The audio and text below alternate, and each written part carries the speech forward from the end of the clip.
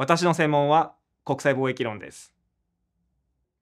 慶應義塾大学経済学部笹原明です。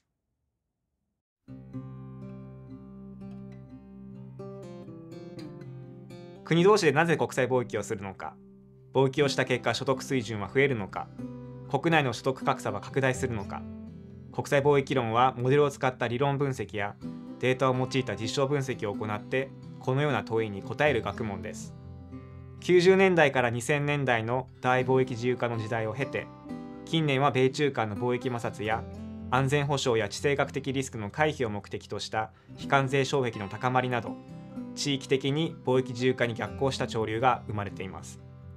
こうした時勢の流れ政策的な関心の高まりにこうするような研究も多くなされています。中国の急速な経済成長2001年の WTO への加盟などの結果90年代後半から2000年代にかけて中国からの輸入が日本やアメリカにおいてのみならず世界的に急増しました。国際貿易論の文脈ではこれをチャイナショックと呼んでいます。チャイナショックの結果世界各国で製造業の雇用が減少し特にアメリカでは経済への負の影響が大きく政治的二極化を促進させたとも言われています。私が博士課程の学生の時に指導教官と取り組んだ共同論文ではアメリカ経済を対象としてより包括的なチャイナショックの影響を検証しました。具体的にはアメリカから中国への輸出を考慮しさらに製造業だけでなくサービス業の雇用への影響も考慮すると既存研究が示唆するよりもマイナスの影響が小さくなることを示しました。より最近の研究では日本の労働市場にも着目して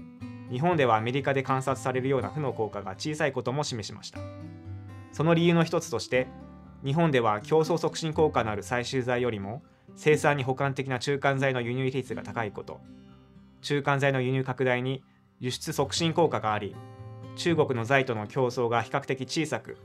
輸出機会に恵まれた濃い色の地域では雇用の減少の程度が小さいことを示しました。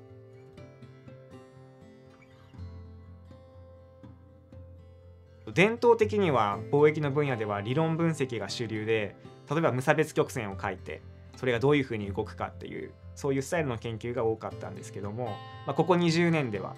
えあの貿易フローのデータのみならず企業レベルの細かいデータとかあのデータを使った分析ができるようになったので実証分析の比重が非常に高まりました。でここ10年ほどは理論と実証が接合されて実際のデータをモデルに当てはめて政策の影響を計測するような研究が多くなされています。これまでにいろんな分析手法が提案されてでそれぞれの手法の長所と短所が整理されてきていますその時代が求めるリサーチクエスチョンに答えられるように学術研究の流れそれから政策的な関心の高まりを把握しながら研究に取り組みたいと思っています。